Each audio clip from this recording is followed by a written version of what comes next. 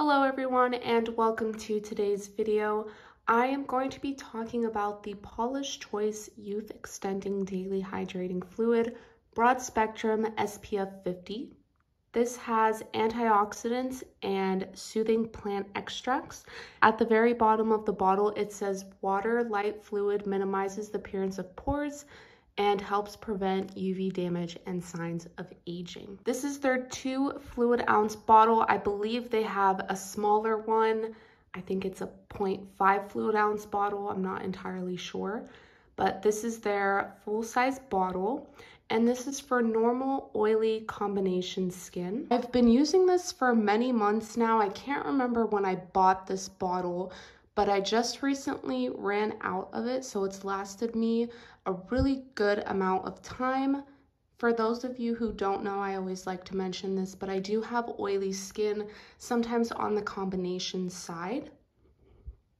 And I was looking for a new SPF to use, um, and I wanted something that would just wanted to find one that would work really well with my oily skin. So I gave this one a try. And I really, really like this SPF so, so much. It works really well with my skin type. So if you have oily combination, I mean, as it says, also normal, I would highly recommend you give this a try.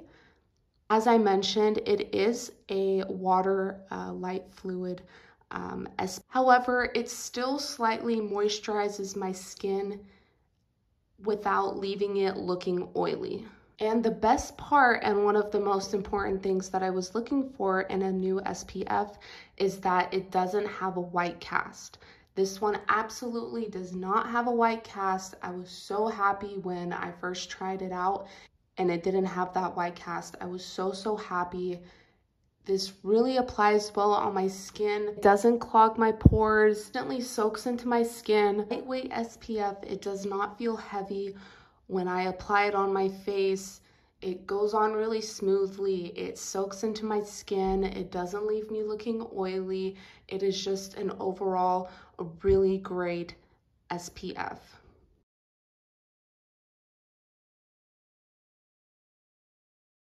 So this is what it looks like. As you can tell, it's really runny. And this is what it looks like after I've rubbed it into my skin.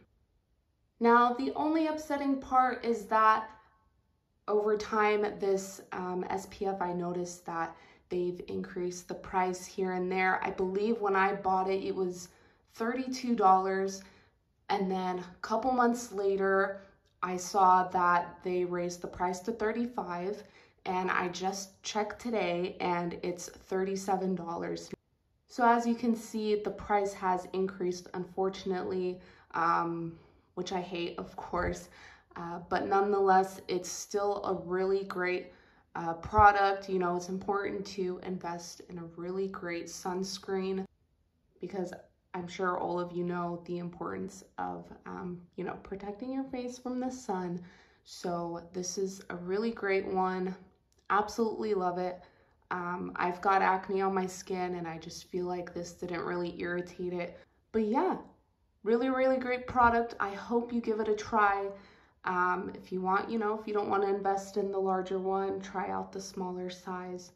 I'm so happy I decided to give this a try. I didn't read any reviews prior to it. I just thought, you know what, let me buy it. And if I don't like it, then I can always return it. So and I will definitely repurchase this in the future.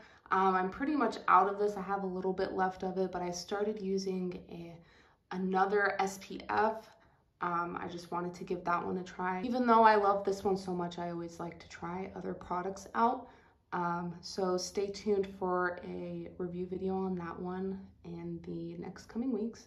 But nonetheless, this is really great. And um, if you do get it, I really hope you like it just as much as I do.